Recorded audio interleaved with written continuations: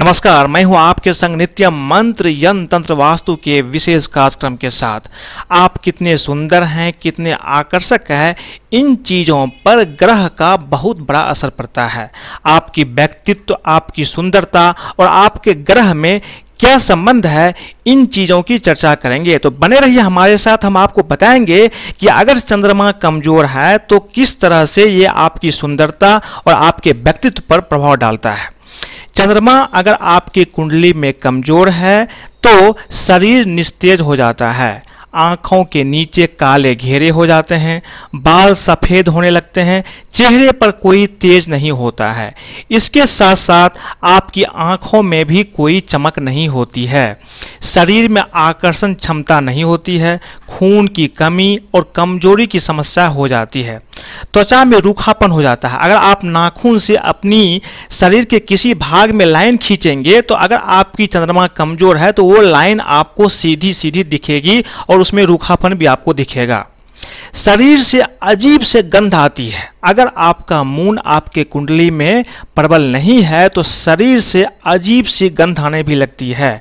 तो इन चीज़ें या इन लक्षणों को देख करके आप समझ सकते हैं कि आपका चंद्रमा कमज़ोर है। इसके साथ साथ हम आपको बताते हैं कि अगर आपका मून आपके कुंडली में कमज़ोर है तो किस तरह से इसको प्रबल करके आप अपने चंद्रमा को मज़बूत कर सकते हैं और अपनी सुंदरता और व्यक्तित्व को निखार सकते हैं। तो सबसे पहला उपाय, खूब पानी पिए, लेकिन चाय कम पिए। पेड़ पौधों और बच्चों के संपर्क में ज़्यादा रहें। बच्चों के साथ खेलें, बच्चों के लिए चॉकलेट लाएँ। तो बच्चों के संपर्क में रहने से आपका मन भी प्रसन्न होगा और आपका मन भी स्ट्रांग होगा। स्नान के जल में केवड़े का जल डालकर स्नान करें। जब भी आप स्नान करने जाते हैं तो सुबह सुबह आप स्नान के जल में केवड़े का 10 से 15 बूंद डाल करके स्नान करें। केवड़े का जल आपको मार्केट में आसानी से मिल जाएगी।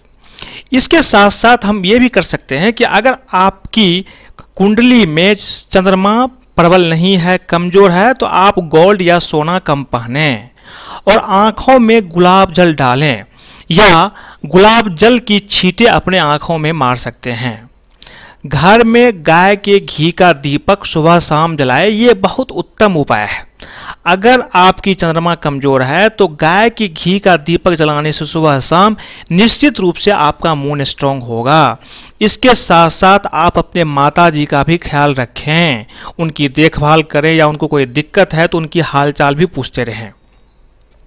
काले रंग के कपड़े का प्रयोग आपको नहीं करना है। अगर आपका मून खराब है या कुंडली में स्ट्रांग नहीं है तो काले रंग के कपड़े का प्रयोग आप ना करें। शनिवार को चाहे तो आप कर सकते हैं। इसके साथ साथ पानी की बर्बादी आप नहीं करें। एक एक बूंद पानी बचाने की कोशिश करें। अगर आपकी बाथरूम में जो जल है या जो नल है, उसको खोल करके रख देते हैं या किसी नल से टप टप पाने, पानी चलते रहती है तो इन चीज़ों को कृपया बंद करवा लें, नहीं तो आपका मून खराब होगा और आपको समस्या प्रदान करेगी। अब हम चर्चा करते हैं कि अगर आपके घर में नकारात्मक ऊर्जा हैं या इसके शिकार हैं तो इसके लिए क्या आप खास महा उपाय कर सकते हैं? देखिए अपने बेडरूम में एक घी का दीपक जला करके टेबल पर रख दें। और अगर ये दीपक 15 से 20 मिनट तक भी जल गई तो जितने भी निगेटिव एनर्जी आपके घर में है या आपके बेडरूम में है, उस निगेटिव ऊर्जा को, नकारात्मक ऊर्जा को ये दीपक सोख लेगा और आपको अच्छी नींद आएगी और आपका जो जीवन है, वो भी सुलभ हो जाएगा। तो मैंने आज आपको बताया कि अगर आपका मून आपके कुंडली में प्रबल नहीं है या आप देखने में सुंदर नहीं लगते हैं, आपका व्यक्तित्व तो अच्छा नहीं है तो किस तरह से मून को स्ट्रॉन्ग करके, चंद्रमा को मज़बूत करके आप अपने आप को सुंदर और आकर्षक बना सकते हैं।